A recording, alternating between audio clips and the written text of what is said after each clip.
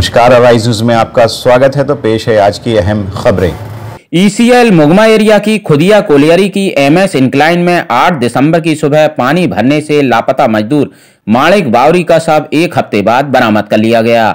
माणिक बावरी का शव इंक्लाइन के 47 नंबर पिलर के 8 नंबर डीप से बरामद किया गया।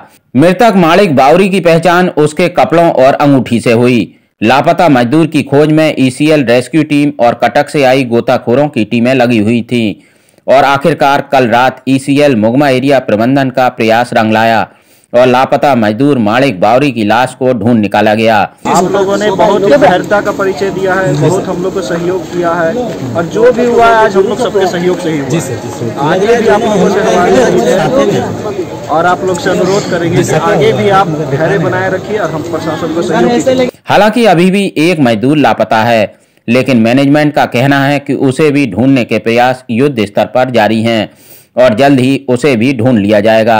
उधर सबको निकाले जाने के बाद मृतक के परिजनों ने हंगामा किया।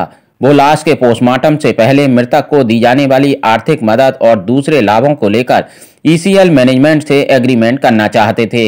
लेकिन ईसीएल मैनेजमेंट की सूझबूझ से पूरा मामला सुलझ गया और रात में ही मृतक के परिजनों के साथ एग्रीमेंट की औपचारिकता पूरी कर ली गई। ईसीएल मुगमा एरिया प्रबंधक विभाग चंद सिंह इस हादसे के बाद से लापता मजदूरों के तलाशी अभियान में जी जान से जुटे हैं। उनका कहना है कि दूसरे लापता मजदूर बसिया मांझी की तलाश भी जारी है और ईसीएल प्रबंधन की पूरी संवेदना दोनों पीड़ित परिवारों के साथ है। एराई न्यूज़ के लिए ईसीएल की खुदिया कोलियरी से पवन मोदी की रिपोर्ट।